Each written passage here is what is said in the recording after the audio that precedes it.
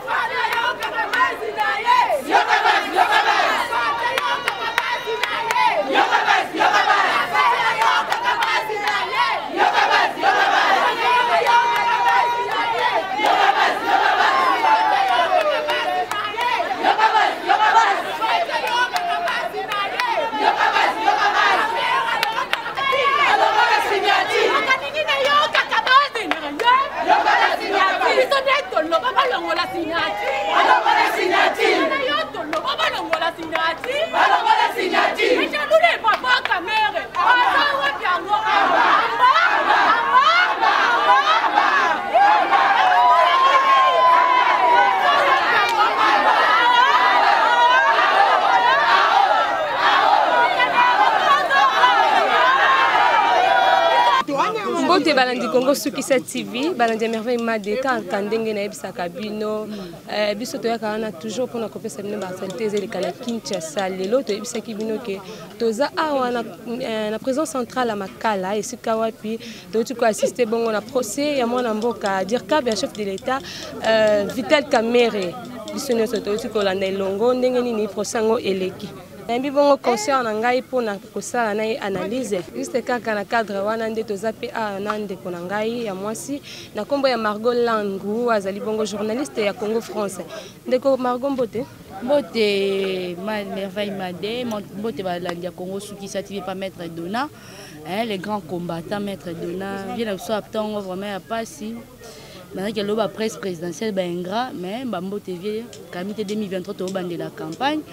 mbote na patron na ngai didi dipumba mbote na basongisongi nyonso international tanke national oyo totongaka na bareseau sociaux mbote na peuple congolais mobimba mbote na président de la république mpo bible elobi fo tosambelaka mpo na bakonzi ya congo mai baoyo ya mitema mabe te mbote na bato nyonso voilà ndeko margo langu Eh, lelo touti koassiste bongo na procès ya mwana mboka vital camere procès yango olandi yango nde omoni yango ndenge nini normalement ngai azalaki na ndako mpo toyebaki aloba abaki ke courant ekee te ngai mete nalanda procès avec modération mpo malgré que par rapport à coronavirus babaki ke faut torespecte balimite 20 personnes navandi zela courant mama courant eke 5 heures nanga soki akourant ya courant eye te ngai bi te ministre ya energie toyete makambo nini asali nde nayaki ma prisante naye prison nakomi a nazwi mpe nabandi kolanda procès mais natali omoni na vie so nzambe aboti oyo apesi sagesse na intelligence mpe apesa so mpe provision nalandi procès oyo ebandeli ti suka ministère public aza na baargument te ministère public aza flou na dossier oyo il fallait ata batikeli ata temps alandela dossier oyo donc na ndenge ya bien mais procès comme na système ya canaille ya canaillekeki motema mabe ekoti eyaye aussi main noire na kati ya badossier yango nde tosala basongisongi na biso nao na ntongo nalali te telefone yango tekomi decharge panzani mo nyonso ka mama songisongi kende nono makala kende makala kende makala petit peuple ao comprendre te mpo na petit peuple oyo oh, lokola courant eza te mpo na bango bayebaki lelo so mwana mboka vital kamere lelo asambi akozala juste condamné bamosusu babi te mama songisongi bakokondane ye mpo ye a motu bakoki kowumisa te fo bakondane avanda bakize babi te ayibi vraiment mbongo ebele bamosusu balobi kadioshe ebimi yo te mwana mboka vital kamere aosamba atanke directeur ya cabinet te chef de l'état alongoli nini tanke chef directeur ya cabinet oh est ce que c'est normal lelo totala boye mokonzi ya mboka mwana mboka vital kamere asambi tanke directeur ya cabinet ya chef de l'état mbote mama lelo eh, touti awa ah, na procès ya ndeko vital kamere aza bongo directeur ya cabinet chef de l'état mais bajuge badécide ba autrement barenvoye ba, ba audience pour le 25 euh, mai prochain yo omoni yango ndenge bon en réalité namoni yango mwa mabe parce que peuple nde moto aosouffrir moni bamonta bongo toyokaki na batv wana donc biso nde bato tosouffrir eza vital camere te vital camere azobénéficie na famille na ye mais peuple moto aosouffrir en réalité fallait bakatela ye une fois pour toutes et puis azongisa mbongo oyo azwaki wana biso bato tosouffrir biso towana misala te ye azwi bandeko na ye atie bango na bamisala bamezira mbongo na bana biso to souffrir pona likolo mutu moko Vital Kamerhe soit disant congolais donc aza na na nationalité mo douteuse toyebi te réalité soki aza congolais ou pas parce que toyebi ke ayaki kotanga awa akoma congolais na magie nini mais lelo kaka ye euh, étranger burundais azwi mopiko ya mbongo asakampare ye na bana na ye na mwasi na ye oyo auti obala biso bato osouffrir mama bakatela biso likambo tolingi tomona claire na dossier ya vital camero mpo sino te tokotomboka peuple moto akotomboka donc papa chilombo ayeba toza na besoin claire na dossier oyo biso bato tosouffrir eza bango te biso bato tovotaka bango biso bazoba na bango toye tovote ale bango bato ya mayele baye bayibi mpo eza détournement te ya mama wana tozokende na lingala eza kimoyibi tozongisa ngo na lingala eza biso toya balingala fone eza kimoyibi toza na besoin ya claire na procès oyo mpo sino te tokotomboka tozo mettre déjà président en garde tokotomboka mpo na dossier na ye oyo voilà ndeko mbote mama eh, mbote mama lelo barenvoye procès ya ndeko kamere bino omoni yango ndenge eh, tomoni yango eza eza be malamu ndenge asambi mais eloko ezopesa biso mpasi yango oyo bambongo ebele ebele oyo bango bazozwa bazopesa bana bango bazoki kosomba bamapango ebele ebele peuple ezo souffrir bambongo wana na baba congo awa bamboka mosusu biloko eza ebele mais moyen de transport eza te bakoki kotonga mpe bapont na bamboka mosusu wana basombi bamituka batia yango ange mituka wana ezokota ntina bamboka wana oyo ezaki mituka ekomaka te bazotia biloko bacommerçant bazofuta mwa mbongo ya moke ozomona ke biso mpe tokolia kitoko saki ya fufu ekoki kokoma na bamonta oyo ekomi lelo te bango bazowelela kaka bango moko peple bazwi peple bapesi mokongo en tout cas likambo oyo leta atala yango alandela yango malamu ntina suka liberté provisoire oyo bazosengela ye biso peple toboyi yango toboyi liberté provisoire wana ozomona peuple ezosouffrir makasi mpo na nini président na biso papa kisekedi yo olobaki le peuple d'abord tozosepela toyebi ke bazokombattre yo mingi toyebi ke bakolinga te ke yo osala malamu mpo soki osali malamu bayebi ke lobilobi bakovote yo lisusu me nzambe oyo atiaki yo esika wana akotika yo te akokontinue kosoutenir yo biso peuple toza nsima na yo fongola misu papa na biso kotika biso te tosouffri kaka na ye balobi ekomi le 25 yo omoni yango ndenge nini mama journaliste naza na maloba na yo yanga sosi ezali awa ntango ya mobutu ezalaki eh, aza koloba nini na bato baza kosala na guvernema bi yiba ndambo bomba ndambo otya na kese mpo na misala ya, ya mboka me oyo ya kamere oyo ezopesa biso mpasi mpo na nini sikoyo na ngongo tozoloba nazoloba na ndenge ya mokuse na ngongo ezopesa ngai mama susi tala tokomi na mpasi ebele biso baso toza koyeba kolia matembele te tokomi kolia matembe tokomi kofonde kolia ya bana bango sikoyo bango kuna baza na biloko mosusu bapesa bango ofele na ndenge na sante na bango na situation na bango biso tosufri na bana bana mike bakomi bakuluna bana mike bakomi koyiba bamosuku to bazwi na sorcellerie mpo na nini mpo na situation ezali mpasi na moma oyo tokomi na nini maladi ya, ya coronavirus ekoti balobi bato batambola te bani sikoyo na mboka yango mpe olie bambongo wana bayoka biso ata peuple mawa mwa mawa mpo na mboka ekoma propre mboka ekomi salite mingi bango bazozwa mbongo bazotia na, na konte na bango bango bazala propre mboka ezala salite kote wana mpesanga mpasi makasi ifo papa chilombo mwana na ngai oyo nazoloba oyo kutu bamama na ye aleki nakomaka mpa na bango kuna bazosala boye bazosouffrir mpo na nini mpo na mbongo oyo bato ya guvernema bayibi bango mpe baza na situation malamu te bazosouffrir bamama leki na ye ya, ya papa président cilombo ngai nakendaka mpa na bango ngai naza ndeko na bango papa, papa mwana na ngai tovotaki bino mpo te bobongisa mboka biso na sosi ya mboka ekoma propre mpo na ngai nalingi mboka eza propre balongisa te nyonso na mboka yango sosi yango na nzala et, et puis dollar emace bato bazobima te bazosala eloko moko te dollar ezomata 18 000 naloba 18 000 keleke sikoyo bato bakose trouve comment bakolia ndenge nini tala tele na bakoko awa bali na nzala kutu na ngongo basokoli mpe te mai ezali te ndeko mbote mbote mama Oui, eh, auti kolanda na biso elongo procès ya ndeko Vital Kamerhe mm. mais ba renvoyer yango pona le 25 mai prochain. Mm. Yo moni yango ndenge Bon, le problème est que batiki le bon temps ndenge ya tangi ceux qui plus de 9 personnes wana o baza baya baloba soki Vital Kamerhe Vital Kamerhe ayibaki oui. Soki ayiba ipekete eza pe kaka même moral. Mais le problème est que